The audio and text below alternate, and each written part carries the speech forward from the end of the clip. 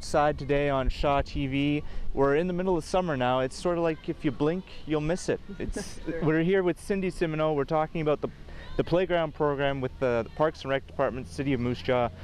You, you're saying you've already it, your the program's already doing better this year than it was last year. Yeah, the, so far this year it's already up 250 kids. We added a new park this year, the 1996 Summer Games Spray Park, so that's nice for the extra kids on South Hill to come out and cool off in the water.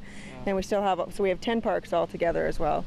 And how are things going this year? Oh, great. Well, with the hot weather, though, the only thing is they get a little bit hot, so they've been in the pool a little extra, but we don't mind. We need Yeah. to keep them cool. We just stress, make sure they always bring cold water, lots of water to bring, drink and stuff, because we don't want anybody fainting. Haven't had any problems yet, so so far so good. Uh, and recently we've had a bit of rain too. What do you guys do if there's rain?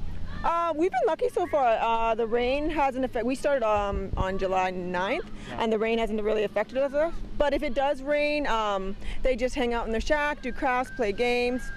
The numbers are a little bit lower when it rains, but they still come, rain or shine.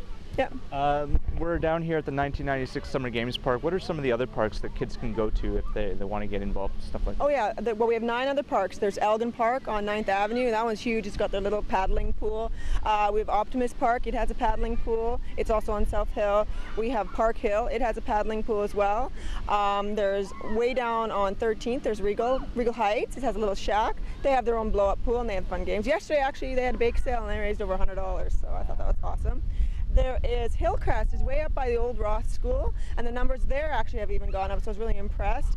There is uh, da, da, da, where else? Oh, West End. It's kind of hidden in behind 9th Avenue, and that's a nice little park. And everywhere, yeah, there's kids everywhere. If you look at all the parks, there's kids playing at all the parks. Just as soon as we started this interview, it seems like the kids kind of exploded into a game. Is that what we're going to see at every different park? Uh, kids playing games? Oh yeah, there's a lots of games. There's always high energy games, low energy games, crafts.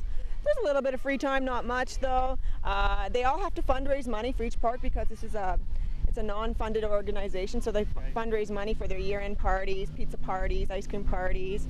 Um, another added bonus that we have this summer as well is we have the snack and time truck going around every Friday, and there's instead of them going to Dairy Queen, it's coming to them basically.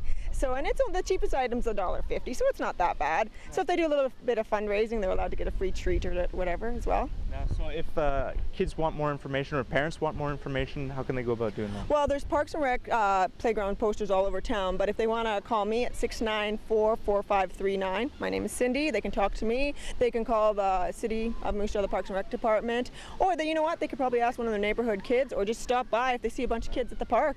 And it's a free, it's free program. It's drop in. You don't. It's 10 to 4, Monday to Friday, but you don't have to be there 10 to 4. You can come whenever you want. You got a cousin in town for the day. That cousin can come in for the day. Cindy, I sort of led into it with the, the question. You sort of you blink and you miss summers, but uh, you started on July 9th. When do you go till? We go until August 16th, which is our grand finale day. It's a Thursday, and it'll be at Crescent Park. And there'll be like fun things to do. Uh, last year we had a dunk tank. We had the police there, the fire. I think we had Gainer the Gopher there as well last year. And it's lots of fun. Um, next week, all the parks are coming here, so it should be a big event here next week, and it's for um, Animal Jungle Week theme. And then on August 9th, I think all the parks are going to go actually to Crescent Park and do some fun stuff there as well. And one other week, they're going to go to Elgin, and all the parks will go to Elgin. So we take turns going to different parks. We don't like really like Elgin going anywhere because there's sometimes up to 100 kids there. It's hard to transport 100 kids, so unfortunately they have to stay at the park. But they have a beautiful park, so. It's, it's some, something hard to imagine 100 kids. eh? Oh yeah, yeah, yeah. Um, yeah, it's lots of fun. As you can see, this little guy here. and every day we have new kids. We have different kids. And like I said, if your cousin's in town for a day, bring him down, bring her down. Doesn't matter if it's a day or the whole six-week program. You can come as much as you want. Well, thanks very much, Cindy, for giving us an insight as to what this program is all about. You're welcome. I hope to see lots of kids out.